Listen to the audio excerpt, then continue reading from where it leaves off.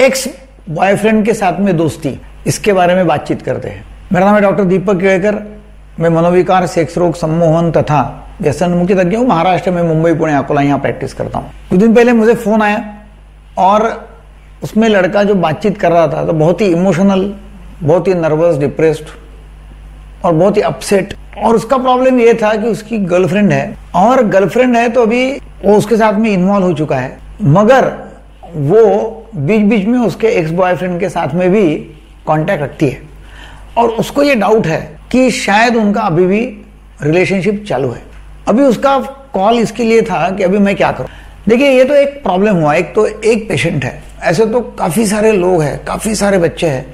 मतलब अभी तो आजकल तो ऐसा है कि गर्लफ्रेंड बॉयफ्रेंड एकदम कॉमन हो चुका है नॉर्मल है। उल्टा नहीं रहा गर्लफ्रेंड नहीं रही तो बोलते अरे, बहुत ही पिछड़ा हुआ है। या बॉयफ्रेंड नहीं है तो फिर वो पिछड़ी हुई लड़की समझते हैं। और फिर इसमें फ्रीडम है घर से भी बहुत फ्रीडम है घर, लोग घर से बाहर पढ़ाई करने के लिए जाते हैं। हर एक के पास में स्मार्टफ़ोन है। और काफ़ी सारे ग्रुप्स है जहाँ ओपनली बातचीत होते रहती है। कहीं भी कौन सा भी ग्रुप ज्वाइन कर लेते हैं।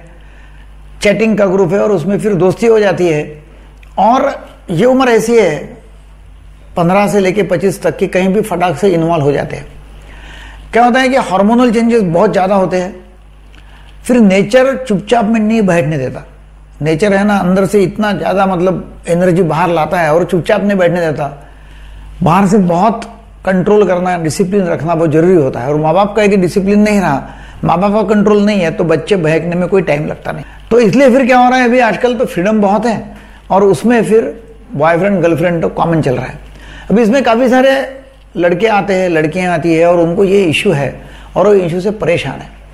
अब ये जो लड़का है जिसका मैं बात कर रहा हूँ, कर रहा हूँ अभी तो उसका ये इश्यू है कि अभी वो जो गर्लफ्रेंड है उसके साथ में मैं कंटिन्यू करूँ कि नहीं करूँ? तो मैंने भाई, आप ये सवाल ही क्यों कर रहे हैं? तो नहीं बोले, मैं बहुत इन्वॉल्व हो चुका हूँ। मतलब इन्वॉल्व हो चुका हूँ, फिर अभी क्या प्रॉब्लम है? नहीं बोले, ऐसा है कि मुझे अभी भी डाउट आता है। मतलब फिर अभी डाउट आता है अभी आपको, और आप बोल रहे कि नहीं कंटिन्यू करना है। आपने वो लड़की को पूछा क्या? कि भाई आपका, उसके साथ में रिलेशनशिप है क्या? तो बोलते हाँ कभी कभी मैं बात करती हूँ। मतलब वो खुद ही बोल रही है कि मैं कभी कभी बात करती हूँ। पता नहीं और एक्चुअली रियलिटी में क्या है। तो फिर ऐसे कंडीशन में आप कहाँ तक और कितने दिन तक उसके साथ में कंटिन्यू कर सकते हैं? क्योंकि यदि आपको लंबे समय का देखना है, क्योंकि वो जो लड़का मैं जिसकी बात कर रहा हूँ, वो सोच रहा था कि भाई इसके साथ में फ्रेंडशिप करूँ और उसके साथ में शादी, शायद भी मतलब उसके साथ में शायद शादी भी करूँ। तो फिर इसके इसमें इन्वॉल्व हुआ कि नहीं इन्वॉल्व होना कि नहीं होना, आगे जाना कि नहीं जाना? फिर मैंने इसको पूछा कि भाई आप जो बात कर रहे हैं कि भाई आप क्यों पूछ रहे हैं ऐसा? तो बोले, नहीं, मैं इसलिए पूछ रहा हूँ कि मुझे आगे जाके ये लड़की के साथ में शादी करने की भी इच्छा है। अच्छा फिर शादी करने की इच्छा है और आप बोल रहे हैं कि अभी मुझे डाउट है। आपने कभी पूछा लड़की को कि आपकी रिलेशनशिप चालू है क्या एक्स बॉयफ्रेंड के साथ में? बोले हाँ कभी कभी बात करती हूँ। अभी वो मुँह से ही बोल रही है तो उसका एक्स बॉयफ्रेंड हो गया कि करंट बॉयफ्रेंड है। और उसको दो बॉयफ्रेंड अभी हो गए कि एक तुम है और एक वो है। हो सकता है बोले कि दो बॉयफ्रेंड है। मतलब दो बॉयफ्रेंड है और आप सोच रहे कि मैं उसके साथ में मेरी ज़िंदगी बिताऊं। अभी से आपको डाउट है। वो भी बोलते कि कभी कभी मैं करती हूँ, मगर मैं इतनी इन्वॉल्व नहीं हो चुकी हूँ। क्यों कर रहे आप? वाई फिर उसने मुझे ये भी बोला कि हाँ उसको भी थोड़ा सा मुझे ऐसा लगता है कि थोड़ा अभी विटिलिगो मतलब वाइट पैचेस भी आ रहे हैं।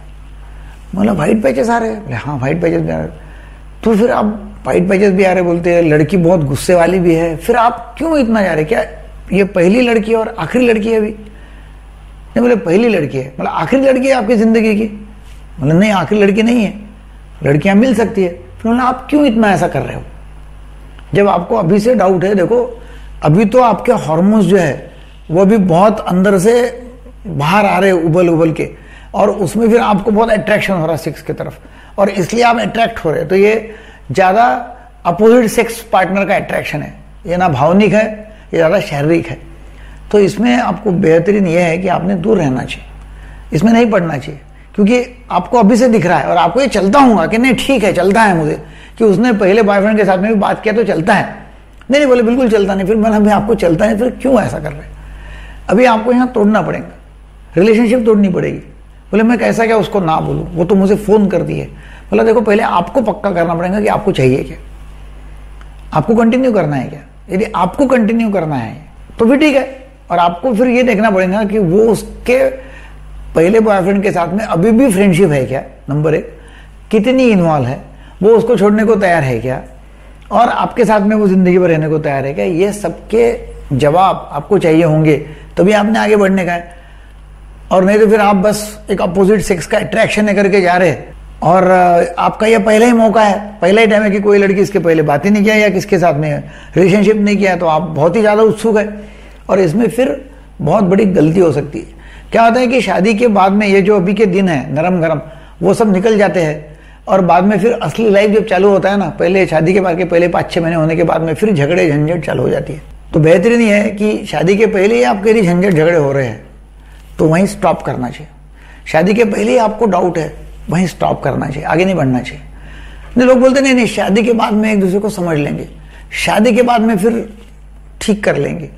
लड़की बोलती है हाँ मुझे उसके ऊपर प्यार है। मालूम है कि वो बहुत सिगरेट पीता है, बहुत शराब पीता है। शादी के बाद में तो मैं उसको सुधार दूँगी और वो लड़की प्यार में है। कुछ नहीं होता। पहले ही आपको झंझट हो रही है, पहले आपको प्रॉब्लम लग रहा है कि भाई अल्कोहलिक है तो नहीं जाना है। लड़की का पहले से आपको दिख रहा है कि कुछ तो भी प्रॉब्लम है। आप बोल रहे कि वीटिले को थोड़ा शुरुआत हो गई है, पहले से ही वो कहीं ना कहीं इन्वॉल्व हो चुकी है, उसने पहले बॉयफ्रेंड को छोड़ा नहीं है। आपको डाउट है? क्यों करना है काय के लिए करना सभी? तो ये यदि आप देखते हैं तो फिर आपका जीवन आगे चल के अच्छा हो जाएगा। इससे अच्छा लोग बोलते हैं कि नहीं नहीं, आपको गर्लफ्रेंड नहीं है।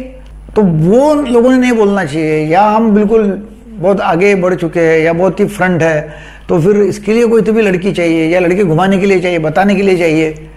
वो बात अलग है। मगर वो एक्चुअल लाइफ नहीं है। आप यदि एक्चुअल लाइफ की सोच रहे हैं तो यहाँ बेहतरीन दूर रहना अच्छा है। फिर करूँ क्या बोले? मैं फिर आपको ब्लॉक करना होगा, आपको उसको सीधी बात करनी पड़ेगी, बोलना पड़ेगा कि अभी मुझसे बात मत करो। जो भी करना है वो करना पड़ेगा और फिर आपको रहना पड़ेगा। नहीं बोले, मेरे से रहा नहीं जाता। मतलब रहा नहीं जाता, बराबर है। खुदा ना हंसता समझो आप ऐसा, भगवान करे ऐसा ना हो जाए। मगर समझो वो लड़की की मौत हो जाती है आज। तो फिर क्या करेंगे? बोले, फिर तो रहूँगा ही। तो मैं फिर आप सोचो। रह सकते हैं ना? ऐसा नहीं कि उसके सिवा रह सकता नहीं है। रहूँगा ही नहीं। मैं तो जीना मुश्किल है उसके बिना। तो क्या मर जाएँगे? उसने समझो, वो समझो मर गई तो। उसकी डेथ हो गई, मृत्यु हो गई, कोई कारण से तो। नहीं बोले, रहूँगा तो सही। फिर ऐसा समझ लो कि अभी वो खत्म हो गया किस्सा अपने लिए। नहीं तो आपको आगे चल के फ़ायदा नहीं होगा, आगे चल के बहुत प्रॉब्लम आ जाएँगे। तो उसने बड़ा मान लिया। बोले, ठीक है, आपका बोलना मुझे समझ में आया और मैं अभी इसको ब्लॉक कर दूँगा और रिश्ता तोड़ दूँगा। क्योंकि मुझे दिख रहा है ये और कि आगे चल के प्रॉब्लम होने वाला है। तो ऐसे ये प्रॉब्लम बहुत लोगों को है। काफ़ी सारे लोग इन्वॉल्व हो चुके हैं। उनको छोड़ा नहीं जाता। और होता क्या है कि इमोशनल इन्वॉल्वमेंट ठीक है। काफ़ी लोगों का फ़िज़िकल इन्वॉल्वमेंट भी हो चुका है। और जब फ़िज़िकल रिलेशनशिप होती है तो फिर छोड़ना बहुत मुश्किल हो जाता है। क्योंकि वो तो इतना पक्का ब्रेन पैटर्न बन जाता है। एक बार फ़िज़िकल रिलेशनशिप हो गई, छोड़ना ही मुश्किल हो जाता है। और फिर उसमें, फिर उसको कुछ समझता नहीं है। जो माँ बाप ने जन्म दिया, वो माँ बाप वो भी कुछ समझता नहीं, वो वो भी उसको पराया हो जाते हैं। कुछ उसको दिखता नहीं है, सिर्फ़ वो लड़की दिखेंगी या सिर्फ़ वो लड़का दिखेगा। ना जात दिखते, ना पात दिखते, ना धर्म दिखता है, कुछ नहीं होता है। क्योंकि वो जो हॉर्मोन्स है, वो इतने तकलीफ़ वाले कार्यक्रम है, इतने पक्के ब्रेन पैटर्न हो जाते हैं कि कुछ भी होता नहीं है, कुछ भी संभव रहता नहीं है। तो ये ऐसा इन्वॉल्वमेंट होने के पहले सतर्क होना ज़रूरी है। पहले जानकारी ले लो। और सिर्फ़ फ्लड करना है तो बात अलग है।